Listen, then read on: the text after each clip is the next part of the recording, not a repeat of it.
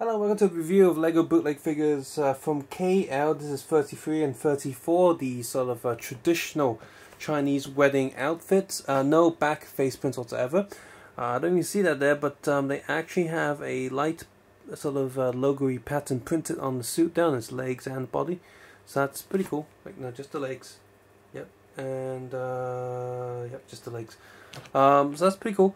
And see that right there, it is quite sharp. there's a little bit of mis smudged print on the side of his arm right there and the back looks very cheap and tacky so the back kind of sucks. Uh, but you see the pant printing carries on on the back of the legs. Uh, there's uh, no side printing whatsoever on the legs. Uh, but yeah and of course um, he looks like one of the choir faces or singing faces or the carol singers from one of the Lego sets. That's probably what I copied of but um, is he yawning? Is he about to eat her lips? She's about to go in for the kiss. And she's like, Ooh. oh wait, kiss. Mm. yeah, uh, sad time on the back of the print, uh, back body print, but uh, front is pretty good. As for the lady here, she doesn't have that pattern going on, but the rest of the design is printed very nicely. She also has the arm printing and uh, the back printing there back leg printing as well. That's pretty cool. And you know side arm printing. So both these are printed pretty well. So if you're from if you're in China if you're Asian in general and you have a wedding going on and you want some uh, wedding themed figures to go along with whatever maybe on top of the cake or something uh, definitely wash these figures first. Um, these are decent figures. Much better than the Mr. Bean figure that they did.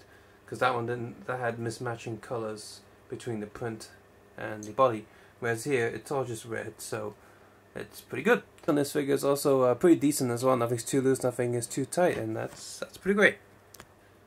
Subscribe, suggest, and comment below. And guys, take care and have a nice day. I'll see you guys soon. Bye bye now.